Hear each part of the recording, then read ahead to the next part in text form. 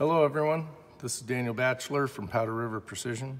Today we're looking at the Springfield Hellcat and the Powder River Precision trigger kit for that pistol. We're going to start clearing the gun.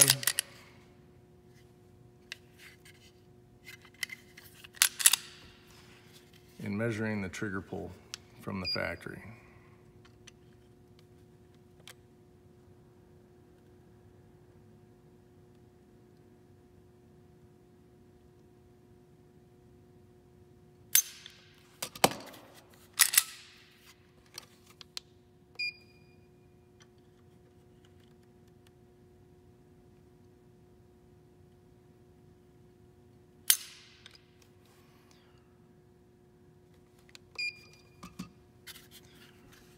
Next, we'll take the slide off, lock the slide back, rotate the takedown lever to the up position, move the slide forward, make sure the back of the slide is lined up with the frame, pull the trigger, remove the slide. Set the slide off to the side. We can remove the takedown lever by rotating it towards the 10 o'clock position and then continue to pull out and rotate.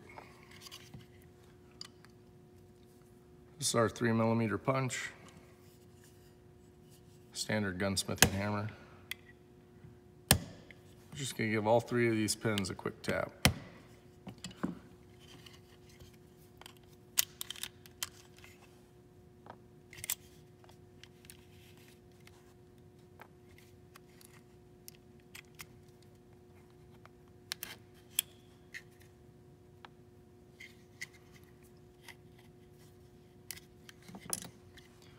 Lift up on the locking block.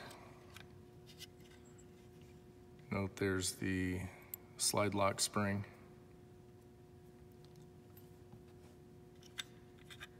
Move the slide lock. On the sear housing block, you have to push forward just a little bit, then lift up.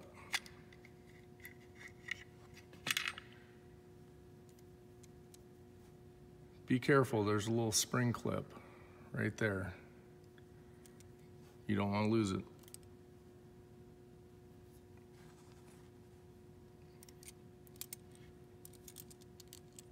We'll pull forward on the trigger bar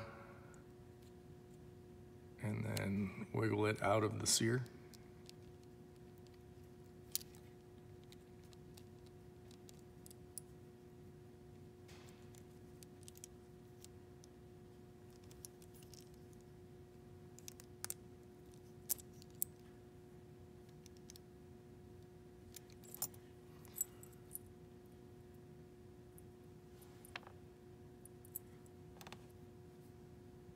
The disconnector pin fell out.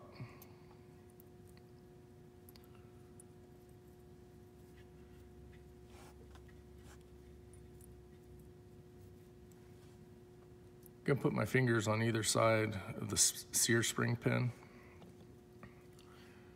Use a little screwdriver with a notch in it.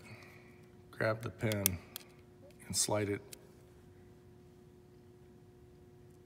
out of that detent on the pin.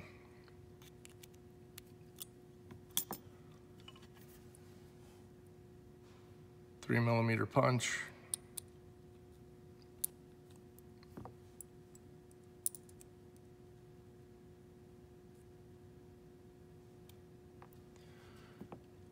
You'll note this pin has a larger head on one end. That would go on the right side of the pistol. Smaller end goes towards the left side of the pistol.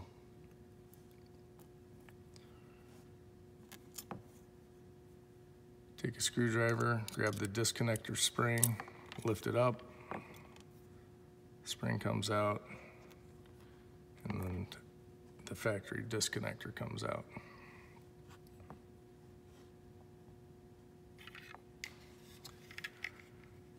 This is a magazine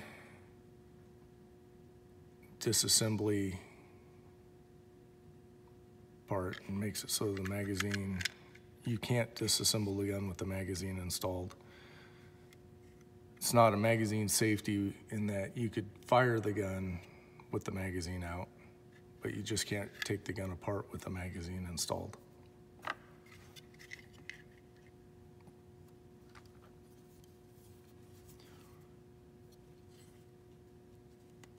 Move the guide rod and the barrel.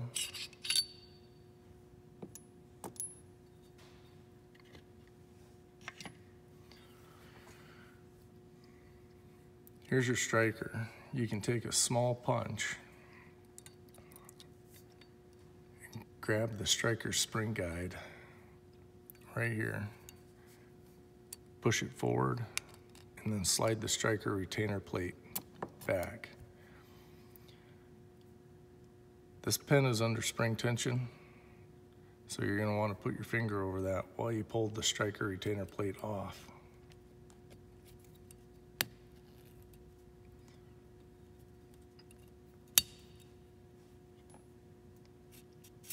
Can remove the striker. Move the, remove the extractor spring and pins. And there's a little pin inside this spring that limits the travel.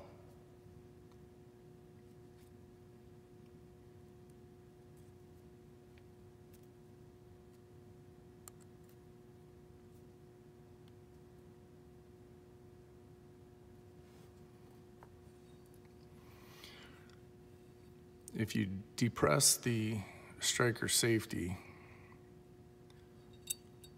you can remove the extractor and then the striker safety and striker safety spring.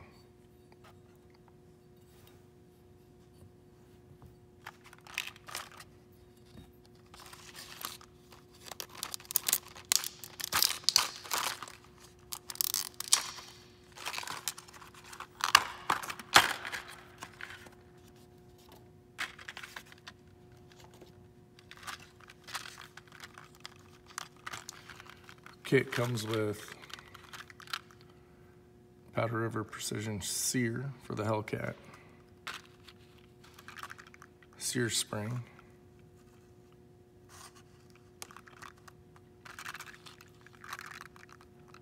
disconnector spring, striker safety spring, disconnector, and striker safety. Assemblies in the reverse order. Get the striker safety, striker safety spring.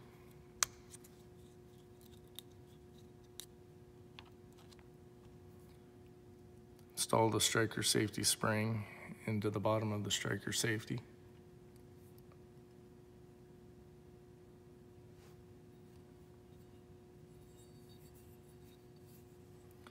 Install both of those into the slide.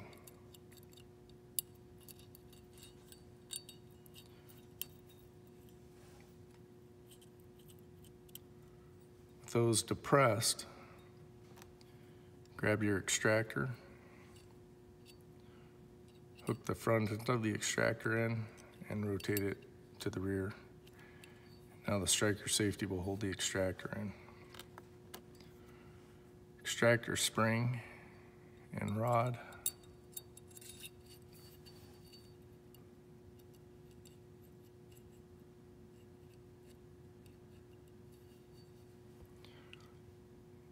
You want to make sure this notch is lined up so you can install the striker retainer plate. Reinstall the striker, striker or striker spring, striker spring guide. Grab the striker retainer plate, hook it onto the striker spring guide. Use a small punch and depress the extractor spring. Everything clicks in.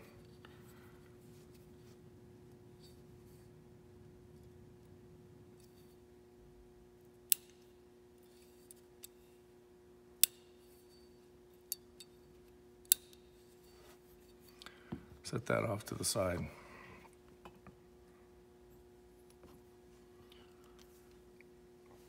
Take the sear and the sear spring. Hook one, of, one end of the sear spring through the sear.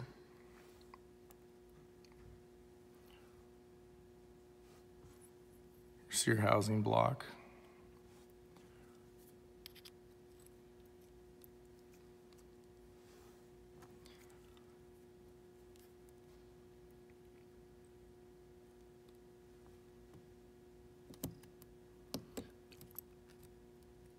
Find it easier to put the spring onto a punch and then transfer it onto the pin.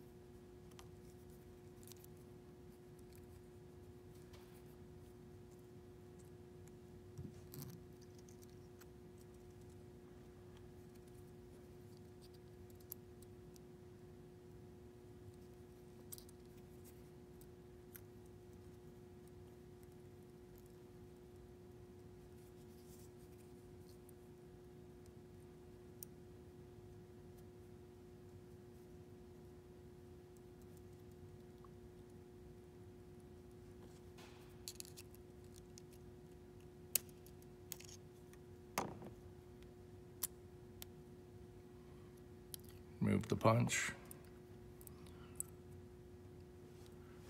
And slide the spring over to the detent.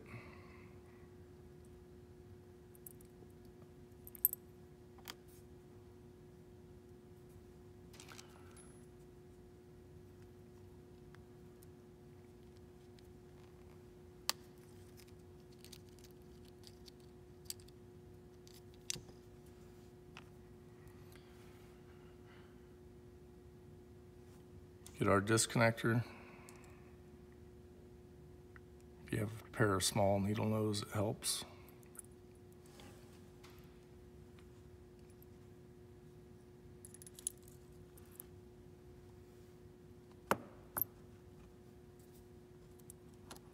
And then looking down through the hole in the sear housing block, transferred onto a punch. This is two millimeter punch.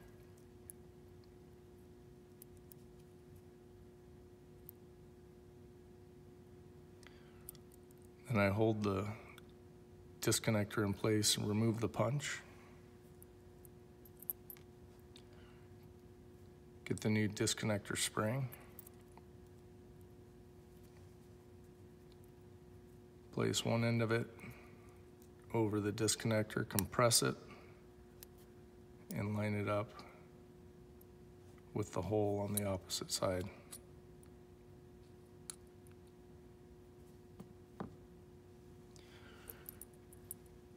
So the sear's hanging down here. And when we rotate it into position,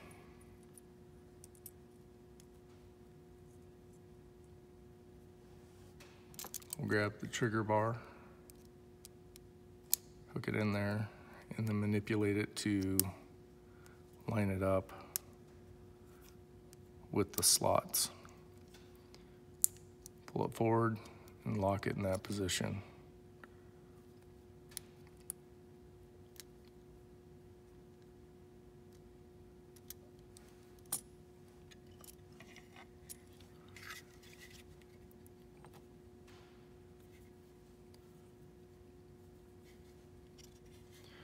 Frame, magazine safety, install that.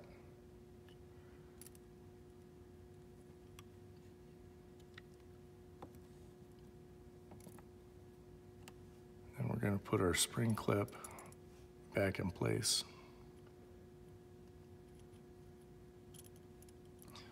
And the disconnector pin.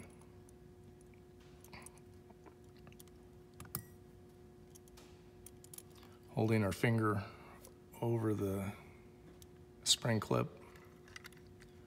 We'll lower the sear housing block. into the frame and then slide it rearward. Next, we'll take our takedown lever, install that. Our locking block and our slide lock spring. I install the feed ramp end first, line up the notch, slide that down. Trigger pivot pin.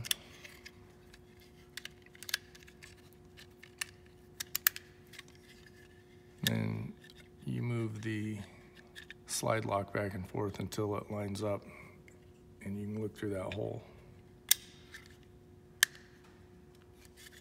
Use a punch to seat the pin until it clicks. Locking block pin. This one has two grooves.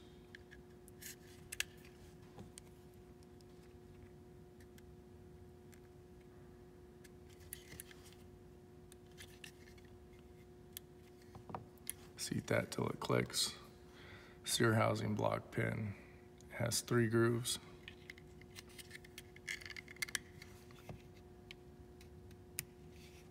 Seat that until it clicks. Take the takedown lever, line this notch up with the flat of that spring, rotate clockwise.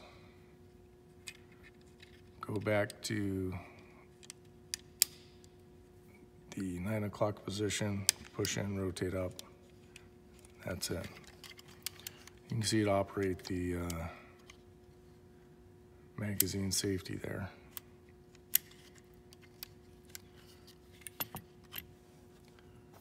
Take our barrel and our slide, reinstall the barrel, guide rod, reinstall the guide rod.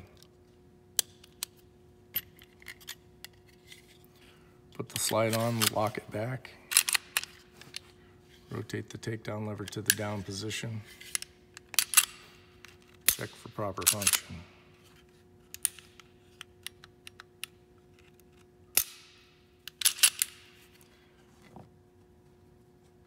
Now we'll weigh the trigger pull after it's installed.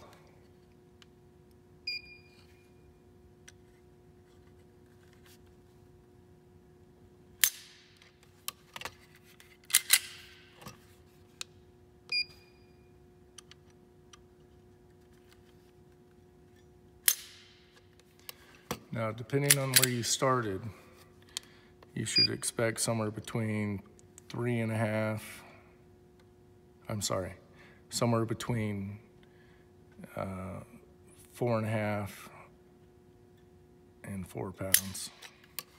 So we're just slightly below four pounds here.